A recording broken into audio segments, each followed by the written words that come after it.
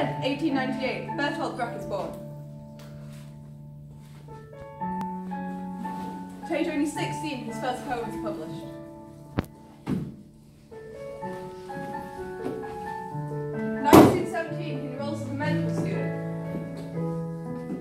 Fortunately, he gets swallowed up by a war,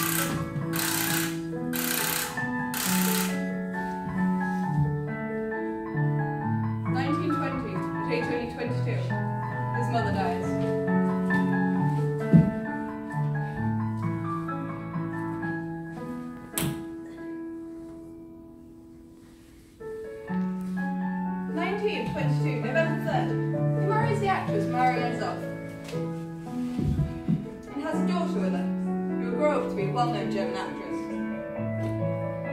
In the Jungle Cities premieres in Munich. Baal premieres in the Alps. Then has a son with the actress Helen Weigel, and divorces the first wife.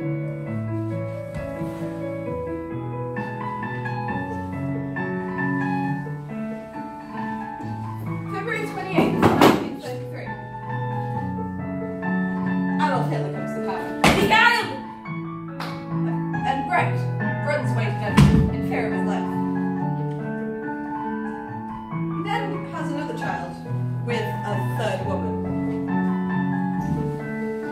Fortunately, it dies. 1956, August 14th. Bertolt Brecht dies of a heart attack.